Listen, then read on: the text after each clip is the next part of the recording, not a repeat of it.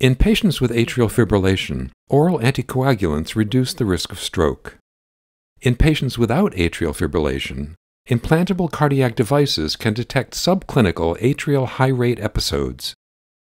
A new trial assesses whether treating such patients with oral anticoagulants would be beneficial.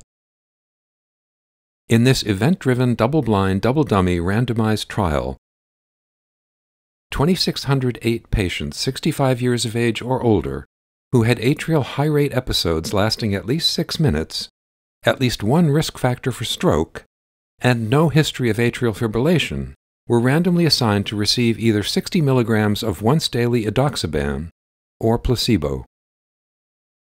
The primary efficacy outcome was a first occurrence of a composite of cardiovascular death, stroke, or systemic embolism, evaluated in a time to event analysis.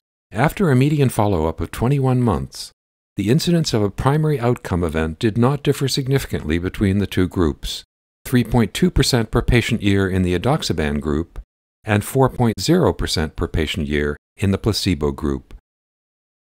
The incidence of ischemic stroke a secondary outcome, was low and similar in the two groups.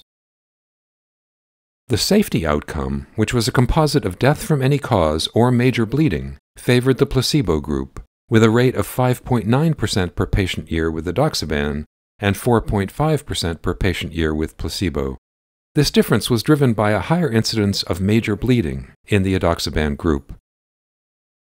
The authors conclude that among patients with atrial high rate episodes detected by implantable devices, edoxaban was not significantly different from placebo in the incidence of a composite of cardiovascular death, stroke, or systemic embolism, but treatment with edoxaban led to a higher incidence of a composite of death or major bleeding.